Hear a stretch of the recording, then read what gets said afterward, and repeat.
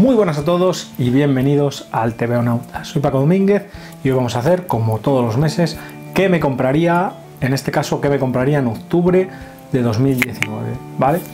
Ojo que viene cargado el tema y hay cosas, pero muy, muy sabrosas.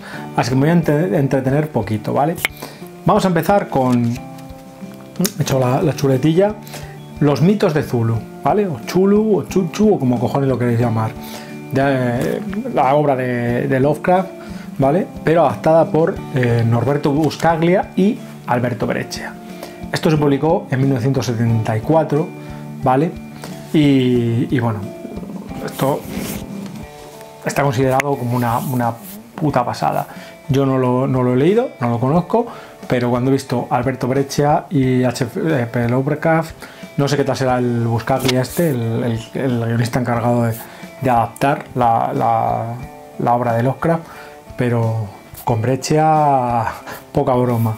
Es uno de los dibujantes más capaces y mejores de la historia de este medio, así que hay que echarle un ojo cuando venga. El, año, el mes pasado teníamos lo de Bernie Bryston, de Frankenstein, que era, que era cómic, que no era la adaptación de las novelas, ¿vale? Era, ahí metí un poco la, pata, porque pensé que era la reedición de, la adaptación de la novela, la, novelización con imágenes de, de, Bryson, y sin embargo era cómic, era un cómic nuevo, ¿vale? Eh, y este mes tenemos esto, así que maravilla. Vamos con otra cosa. Eh, Kelly Green de Ponemon, que, que nos trae cosas chulísimas siempre, pues mm, traen un tomo, este Kelly Green de Stan Drake y, y, y Leonard Starr.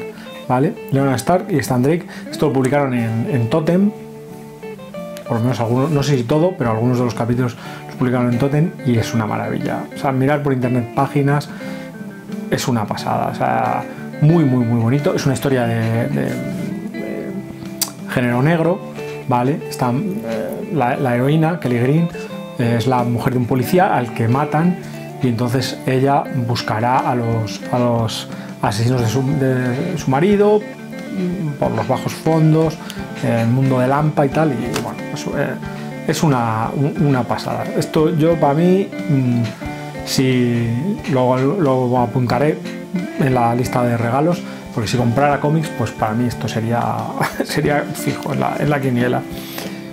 Eh, historias jamás contadas de los X-Men. Chris Claremont y John Bolton. Ojo, ojo, porque aquí cuando Forum publicó Classic X-Men, eh, bueno, y, bueno, Marvel sacó una colección llamada Classic X-Men, que eran 19 números. Aquí la sacó Comics Forum. Reeditaba Génesis Mortal, esos primeros números de, Claremont, y había unos complementos con historias cortas dibujadas por John Bolton, Canela Rama, John Bolton, Marada, Mujer Lomo, Black Dragon, aquí hemos hablado de Marada, mirar el vídeo de Marada que es una, es una pasada. Eh, bueno, pues mm, John Bolton hizo una maravilla. Esto ya lo habían sacado en dos tomos en tapa blanda Panini, ya lo había sacado en dos tomos en, tapa blanda, pero ahora sale en un tomo tapadura. Pero por el número de páginas veo que no son solo los complementos de Bolton, que en aquellos dos tomitos en tapa blanda sí que eran solo los complementos, pero aquí por el tochal que es, veo que meten los 19 números de Classic X-Men, con lo cual igual es un poco redundante, porque vuelven a meter Génesis Mortal y meten los complementos. El que no tenga nada, pues es bueno hacerse con este tocho, pero que lo sepáis, que aquí hay, ¿vale?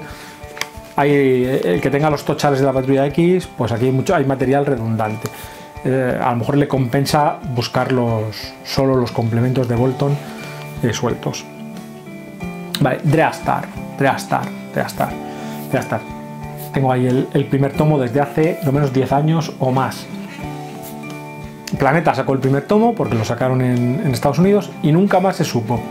Los que lo compramos lo tenemos ahí colgado. Ahora vuelve a salir ese primer tomo. ¿Por qué? Porque en Estados Unidos han hecho un crowdfunding y han sacado Star. Con lo cual parece que por fin vamos a tener todo Star, que es una puta obra maestra. Aquí eh, Planeta publicó en, grapas, Forum publicó en grapas eh, un montón de números, pero no la llegó a, terminar. Yo los leí porque me los dejó un colega. Luego tengo ese primer tomo pero es una pena que, se quedó ahí, no tener más. Sí que publicaron también la Odisea de la Metamorfosis, que tiene que ver, pero esto es la serie principal, que es, esto, es, una space opera como una catedral. Yo no dibujo Gene Starling, los que no conozcáis, os conozcáis Dreastar, vamos, esto es un fijo, pero un fijo fijísimo. O sea, esto, todos los que me estáis viendo, oyendo, si tenéis que comprar un cómic este mes, bueno, no sé qué decir, ¿eh? que hay mucha canela, pero bueno, si tenéis que comprar un cómic este mes, Dreastar de Gene Starling. Lo demás dejarlo para el mes que viene. Dreastar, ojo, que es una pasada. Eh, ¿Vale? Más, el anillo del nivelungo. El anillo del nivelungo, ¿vale? Eh, todos conocéis, obra de Richard Wagner. Eh, adaptada por Philip Craig Russell. Philip Craig Russell se ha llevado ya tres premios Eisner al mejor dibujante. Es uno de los mejores dibujantes que ha dado el medio. Es una maravilla. Y aquí lo que hace es adaptar todas las obras del Anillo del Nivelungo, que son, eh, digamos, mitos nórdicos. pues adaptarlo divinamente. Esto es eh, muy parecido a lo. o tiene mucho que ver. Yo es que lo leí en la biblioteca hace un montón de años, pero, recuerdo poco, vagamente, pero tiene mucho que ver con, con Siegfried, el tema de. los tomos de, BD, ¿vale? De, mm, dibujados por Alex Alice, ¿vale? Mm, es que estoy, estoy pensando que también lo adaptó en Thor. En Thor hizo una adaptación de, del Anillo del Nibelungo eh, Roy Thomas con Buscema. Creo recordar eh, que en la biblioteca Marvel, cuando leí la biblioteca Marvel, y también en, en, Tesoros Marvel, en los dos tomos de Tesoros Marvel, creo que está ahí eso también, adaptó el Anillo del Nibelungo al tema Marvel con Thor y todo. Vamos, hizo ahí un refrito y también hizo una adaptación. Bueno, pues esto, esto es canelaza. ¿Vale? Lo sacan en un tomo, esto salió en cuatro prestigios, lo sacan ahora en un tomo, 42 lereles, el 8 de octubre. El 8 de octubre sale también Dreastar, ¿vale? Las dos. Los anillos los nivelungos, ya sabéis, canela, calidad, Cilca de Russell, que es una pasada. Más. Mm, ah, mira, esto para los viejunos como yo. Deliranta Rococo. Deliranta Rococo, ¿vale? Eh, esto lo, lo publicaron en 1976, cuando yo tenía un añito. Y esto está creado por Mart Smith, que es el, seudónimo de Gustavo Martínez Gómez, que firmaba con seudónimo eh, anglosajón, Mart Smith. Eh, Delianta Rococo era una señora de la alta sociedad que vivía en una mansión y con su mayordomo Braulio, que es el que realmente era llevaba el protagonismo, porque era el que, el que realmente llevaba el peso de, de la historia esto es una, gozada. O sea, a mí estas historias me encantaban. Los que sean viejunos y las recuerden de leerlo en, las revistas, pues ya sabéis, nos está trayendo Random House cosas muy chulas. Ediciones B siempre estaba enrocado en Mortadelo y Filemón y Zipizape y Trueno y ya está. Y cuando Mondadori ha cogido el fondo de Ediciones B, pues hemos podido tener em, la 13 del Percebe, hemos podido tener em, Sir Timoteo y ahora Deliranta Rococó y, otros títulos, ¿vale? Así que esto, bueno, pues de Dante Robocop, ahí lo, tenemos. Y por último, aunque no menos importante, ojo al dato, el 29 eh, de octubre se reedita Comanche. Comanche, los dos tomos de Comanche los reedita Planeta de Agostini, ¿vale? Esos dos tomos de Comanche que, que ya he enseñado cuando hice el especial western, que lo puse en la segunda posición Fijaros lo que estoy diciendo. Aunque ahora si hiciera el top, el top 10 de western, ya no pondría Comanche en la segunda posición porque pondría Ken Parker, que entonces no lo había leído. Ahora ya me he leído 27 tomos de Ken Parker y lo pondría como segundo, pero eso no quita para la calidad de Comanche, que es brutal. Además, Ken Parker no tiene mucho que ver con, con Comanche. ¿Vale? Es una serie diferente. Entonces, a los que os guste Blueberry, a todos los que os guste Blueberry, que estéis comprando los integrales de Blueberry, muchos que me decís en los comentarios, ay, gracias a ti estoy comprando los integrales de Blueberry, que no la conocía, todos los que os esté gustando Blueberry, esto me está encantando. Comanche, es muy similar a Blueberry, no, no me refiero a que sea similar la acción, pero es similar en cuanto, mientras que Ken Parker es un trampero, que va la naturaleza, mm, a lo mejor está en un ballenero, hay otro capítulo que, boxea, hay otro capítulo que está en un salón de no sé qué, o sea, aquí esto es más western como Blueberry, más esto es más de, tiros, ¿vale? De tiros y pistoleros y tíos duros y la hostia, ¿vale? Comanche, eh, es, un, es un, pistolero que se llama Red Dust, que llega a un rancho, en el, el triple 6, en el que está una chica que se llama Comanche, que es la dueña del, rancho.